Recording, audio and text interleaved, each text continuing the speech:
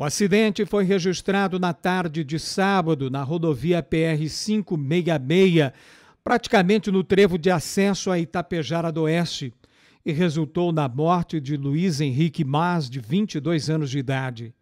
A vítima conduzia este veículo Gol que bateu forte no caminhão. Tenente Tavares, do Corpo de Bombeiros, relatou o quadro encontrado no local. Ocupantes do veículo Gol estavam, ao chegarmos no local, fora do veículo já, foram atendidos aí pelo médico. É, foi constatado o óbito da vítima masculina e a vítima feminina foi, é, foi transportada em estado grave para o hospital regional.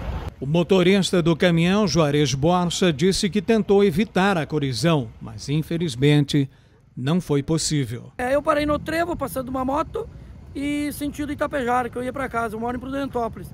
E esse gol vinha no embalo de mais ou menos de 100 por hora e com certeza ele se perdeu. E eu tirei o que tinha, pô, pô mato, que nem os outros, e ele veio em cima de mim, eu tirei e não teve. Eu tive que freiei e ele bateu no meu caminhão parado. O corpo de Luiz Henrique Mas foi encaminhado após o trabalho da criminalística para o Instituto Médico Legal de Francisco Beltrão.